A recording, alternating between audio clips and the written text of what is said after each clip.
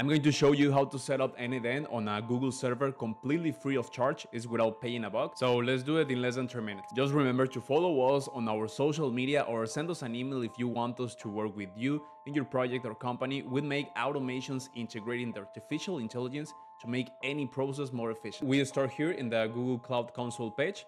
That is console.cloud.google.com and we move here to the navigation bar and we type compute engine. We go to the left side where we see VM instance, that's a virtual machine. So we need to create a virtual machine to host the server with Google. I already have a virtual machine, so what you need to do is just create a new instance. You're going to see several options to set up. Then we need to follow some instructions to achieve the setup. Google has a program that it's called um, Google Cloud Free Program.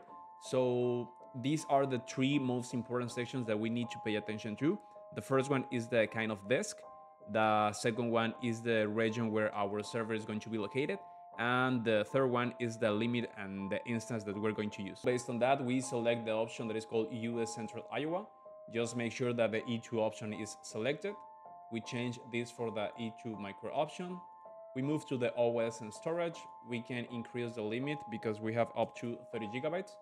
And we change here for standard persistent disk. We click on select and we move to the networking because we're going to check the three boxes that we have here and we just click on create. Once the virtual machine is created, we click here on SSH is the secure shell like the command prompt in Windows. We just need to authorize the access and log in with the account that we are using now. And pretty much that's it. This is the last thing we've got. We just need to install Docker because we're going to use a Docker container.